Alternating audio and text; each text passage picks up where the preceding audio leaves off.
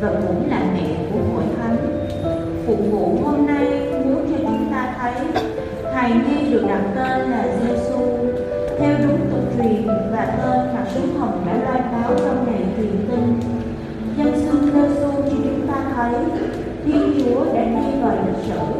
và biến mình trở thành thành phần của lịch sử. Người vượt lên trên và điều khiển dòng lịch sử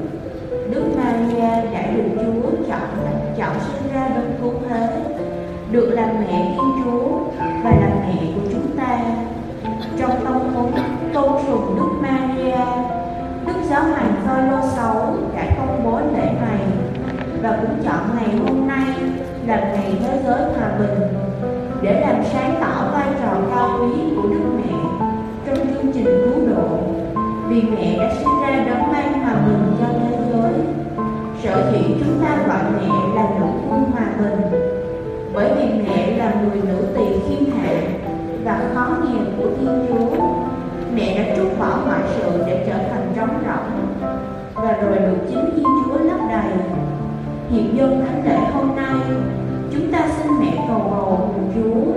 ban cho mỗi người được nhiều ơn lành của Chúa. Hơn nữa, xin Chúa ban bình an cho chúng ta biết noi gương mẹ